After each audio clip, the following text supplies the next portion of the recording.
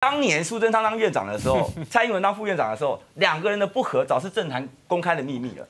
阿扁有见，然后后来选这个双北市长的时候，本来蔡英文希望去选台北，苏贞昌也先卡位，又跑来说，哎，我已经选两次县长，不能再选，我来台北先去卡位，逼着蔡英文去新北市选市长。对，结果后来证明他还是又去新北又再选了一次，感情超不好。对，那你说这一次二零一一年大家记得蔡英文那次二零一二虽然没有当选，可是当他跟苏贞昌竞争党内提名赢了之后，他去拜访苏贞昌说，让你扮演最重要的角色。对，苏贞昌当然媒体的面。毫不给面子哎哎，这个我记得超清楚哎，连续九次逼问什么是最重要的角色，超超清楚。那个蔡英文当场尴尬到极点哎哎，这些都历历在目，刚发生的事情。那 所以昨天我跟慧玲刚好茂南议员也在，我们在大八卦节目，我们就引用了一个斯德哥尔摩症候群。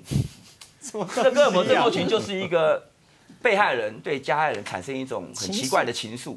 那我就特别去查了维基百科，你知道吗？哦，维基百科就是说。当他产生一个情感，然后同情加害者，产生了一些不理性的滥用同情心的创伤羁绊。